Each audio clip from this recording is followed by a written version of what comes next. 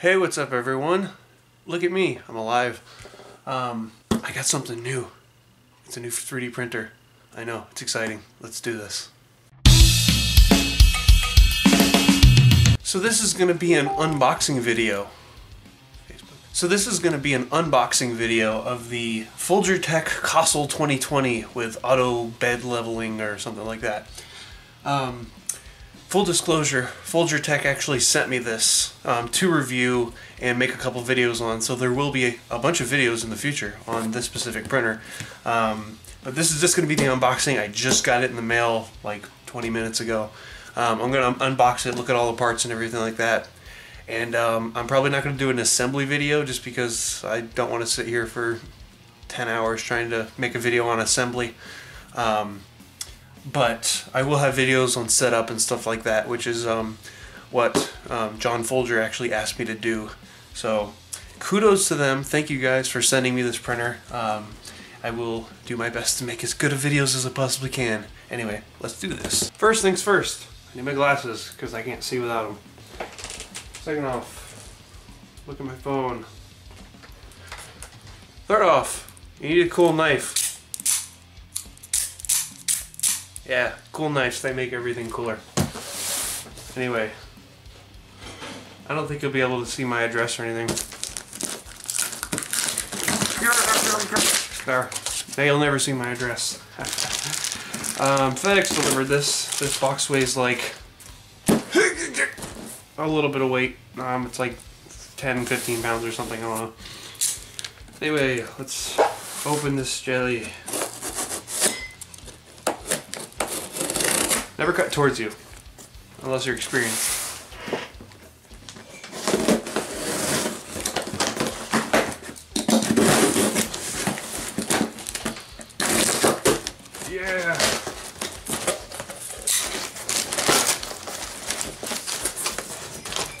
See, they sent me a giant box of cardboard.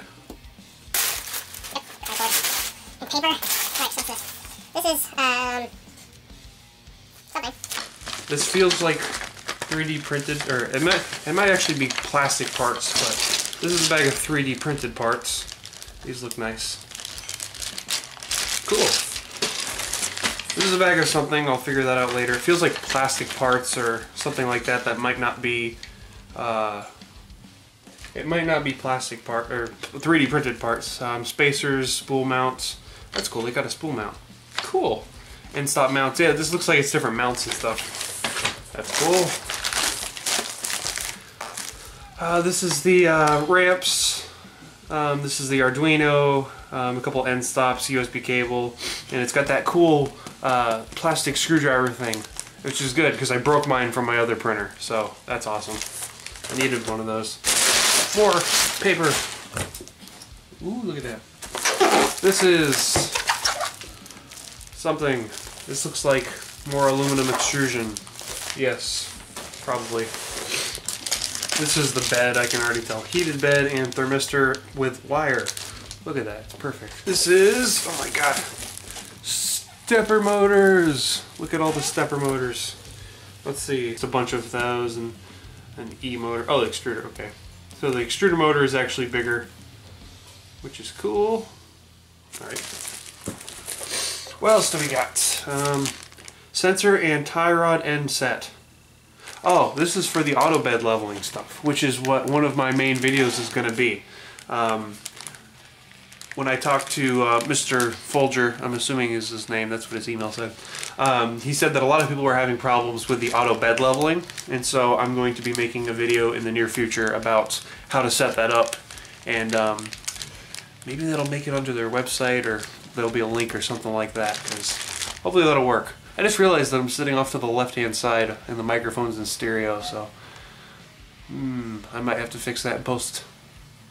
Cool. Anyway, Bowden extruder.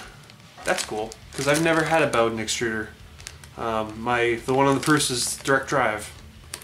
More Kapton tape. I have a bunch of Kapton tape. I need more.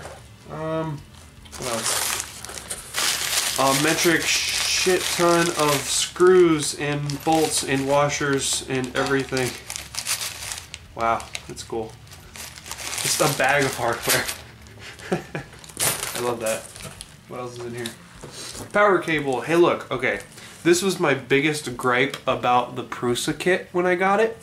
Is the power cable that they gave you was this really, really crappy, like, it was almost that fabric wire, like the really, really thin wire, and it was almost impossible to solder. So I actually had to take one of these cables from, because uh, I have a collection of cables. I had to get one of um, these power cables that I had and use the wires because the ones that they gave me were just, they were really bad. I couldn't solder or anything. It would just melt the actual stranded wire. So this looks like it's a lot better quality. Um, of course, I'll find out when I when I do a review. Full review of this printer will be in the future um, once I've used it a little bit. Um, I'll probably also make a comparison video on uh, between this and the Prusa. That way, if someone's looking between getting one or the other, they will know. Filament. Ooh, cool. Red filament. I have red filament, but you know.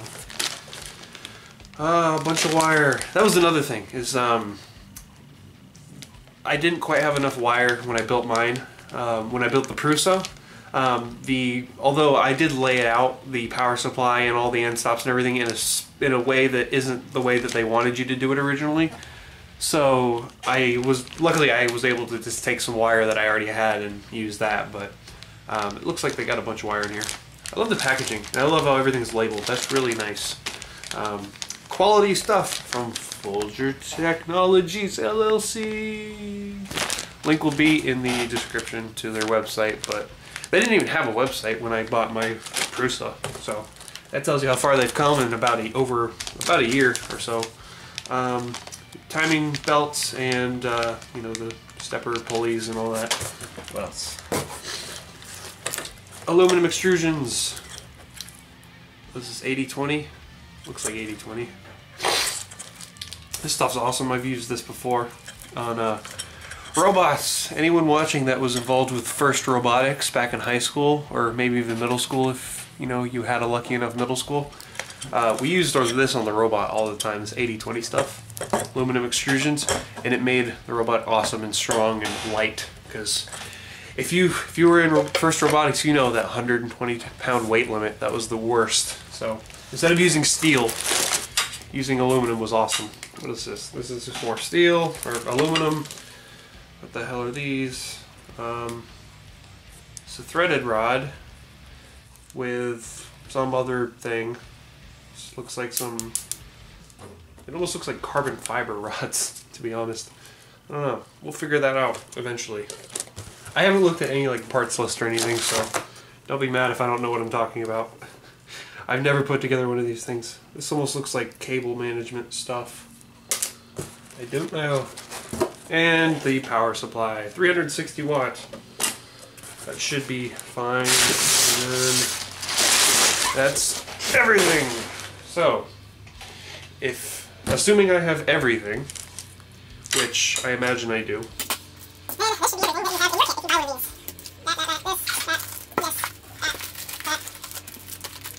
someone in the comments laying out all the parts and everything. It's called something. It's got a specific name, and I can't think of it right now. Comment in the comments with what that's called.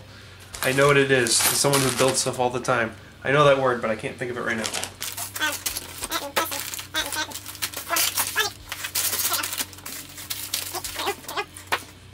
So yeah, this is uh, everything.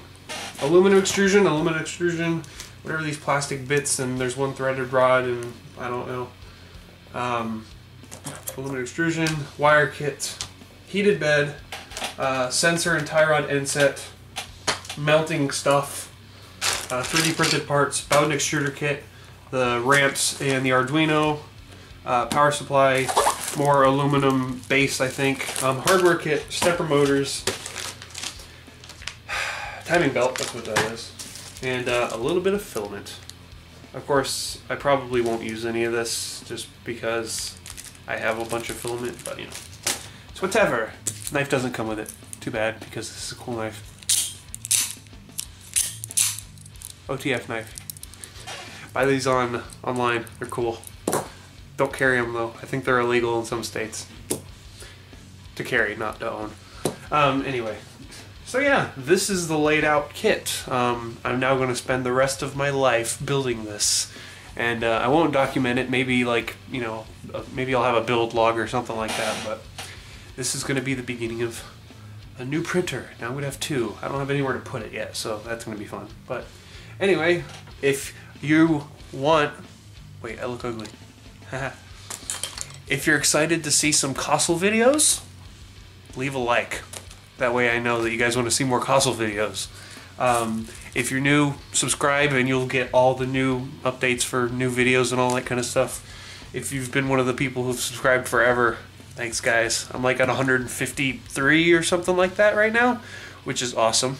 I've grown a lot since when I made my first Prusa video. At that time, I think I had like seven subscribers when I made that first video, so a little over, almost a year today, more or less.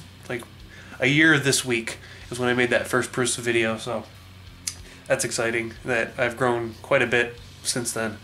Um, yeah, just, just like a little bit and look for more videos in the future. This is a new camera, by the way, and I have my window open, so. Anyway, um, yeah, follow me on Twitter too. If you ever have any questions or anything about 3D printer stuff, follow me on Twitter. There's a link in the description. If you um, tag me in that or even direct message me on Twitter, it's a lot easier for me to get to you than YouTube comments or even uh, YouTube direct messaging. If you send me a direct message on you on YouTube, it'll probably take me a while to get to it because I don't get notified for those and I don't check them often. So sometimes I'll go to check and some dude sent me a, a, a question from like six months ago and I'm like, I'm sorry, but I don't check them often. And comments I usually can get to, um, but you know, it depends. It's, sometimes I'm notified, sometimes I'm not, and I just have to check the video and see. Also, sometimes people have their settings to where if they comment on a video, you can't reply to them. So sometimes people will ask me questions and I can't actually reply to it and answer them. So check those settings um, if you don't know. I don't know where it is, but you know that kind of thing. Just make sure because I can't do it. Um, but yeah, Twitter is the best way to get to me um, over social media. I'm I get notified for everything that happens, so that's the easiest way to get to me. Anyway, I'm gonna go do this. You guys sit back, hold tight, and wait for some videos. Anyway, I'll see y'all later.